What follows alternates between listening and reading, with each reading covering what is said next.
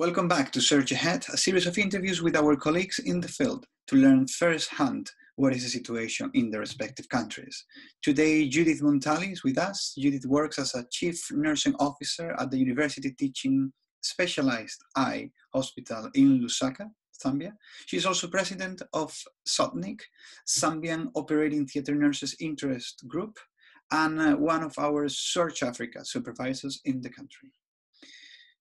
Good morning, Judith. Uh, we are delighted to have you here. How are you? I'm well, thank you. And you? I'm I'm fine, thank you. All good over here. Thank you very much. I would like to ask you, um, in the current circumstances, in the in the current situation in Zambia, how has the coronavirus pandemic affected on your work at the, the operating theater in the hospital where you are based? Thank you, Antonio. Well, the coronavirus or COVID 19 pandemic has um, affected us in a lot of ways at all levels of our lives, at work, even in the communities where we live.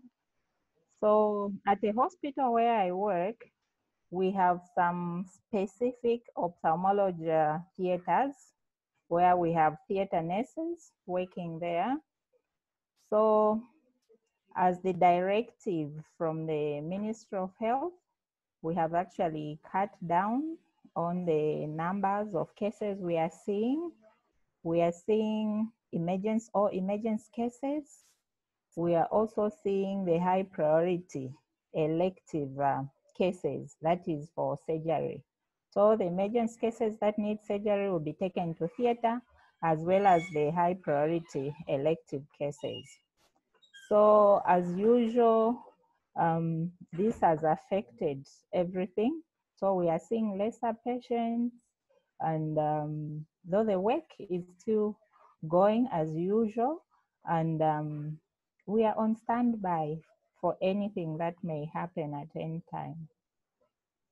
Thanks for that answer, Judith. And um, that gives me a little bit of a glimpse of what is going on, what is going on in the operating theaters, and also brings me or takes me to the next question, which is uh, regarding the the work of nurses. The, it's always frontline, right, and facing yes, a lot of risks. And I would like yes. to know what are the, the biggest challenges that uh, the collective of nurses uh, have to face during this pandemic? Okay. So that's a good question. So, like you are saying, nurses are frontline workers, and more so the operating theater nurses, because they work in these closed up operating rooms where you can have any type of patient.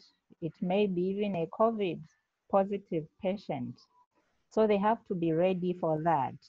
So, first of all, there's been a directive from the Ministry of Health on um, the use of protect personal protective equipment, which we abbreviate as PPE. So all nurses working in the theaters have appropriate PPE, like I sent you the pictures. So it's actually every staff, not all the nurses.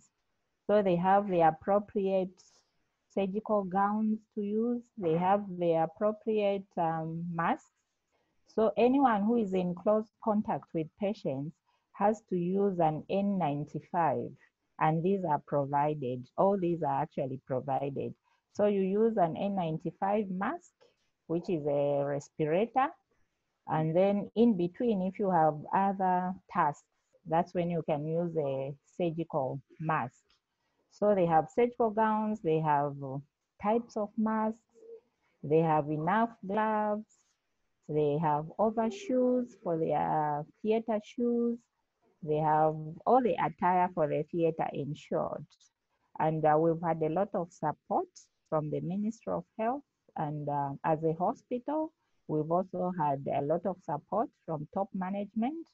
We've been able to, to get all the PPE that we need. For now, we haven't faced a lot of challenges but we don't know where we are going. I hope it will remain the way it is. But um, if things change, I hope we'll still manage. We have enough PPE for now. Yes. And but uh, I should not um, fail to say that I'm talking about a, a single hospital where I'm working. There may be challenges with the other hospitals, which I mean we keep hearing about, but the Ministry of Health is really trying their best to ensure that all members of staff are getting the appropriate PPE. And um, as I mentioned before, you are one of our uh, SURG-Africa supervisors in, in Zambia, and then you have been for the last two years working, uh, going around different district hospitals in the country, mm-hmm. training and providing training to surgical mm-hmm. nurses. And I would like to know now in these times, what do you think that training that you provided to your colleagues, to your nurses colleague, uh, mm-hmm. how that training is gonna help them to cope with the current situation? Thank you for that question again. So I also want to mention before I answer your question that um, fortunately, as theater nurses, we're very well versed with how to use the PPE and how to prevent infection because that's part of our everyday work. We work in theaters where you have to ensure that there are aseptic techniques being done and um, all the theater attire that needs to be used in theater is used. So we were actually very helpful even to orient our other colleagues who are now using PPEs on how to don the masks, how to doff any type of PPE. We're already very well versed with that. So coming to your question, as a SURG-Africa uh, mentor, mentor or supervisor in the district. Of course, I don't know if I can say fortunately enough, our stint with the district mentorship activities ended in December 2019, but I'm very well aware that the work that we did has been of great help during this time of the COVID-19 pandemic because as a nurse, I stressed to the nurses I was mentoring on the need for planning. Now, when you plan, you have the right full requirements in place for the time that you need them. A theater nurse should always be ready for anything. So we have instilled confidence in the mentees we were mentoring to an extent where they were able to start looking forward to running these theaters without much supervision. Because if someone is running a theater with, without a lot of supervision, they are able to order or request for the medical and surgical items that they need to use, and they are able to put everything in place, uh, human resource and material resource. So I'm very aware that the nurses we have mentored were ready on how to use the PPE during this pandemic of COVID-19 because that's what we were talking about.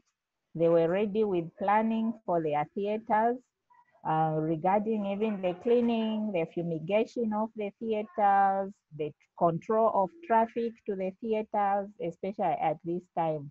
Those are the things we stressed on as we were mentoring them thank you for your time and uh, we have uh, it has been a pleasure having you here and um, we will follow closely the development of the coronavirus in, in zambia and uh, good luck for the coming weeks.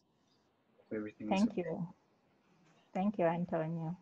And thanks to everyone for watching the interview. You can find more in our youtube channel check uh, our website and social media for our latest news. Take care and keep yourselves safe.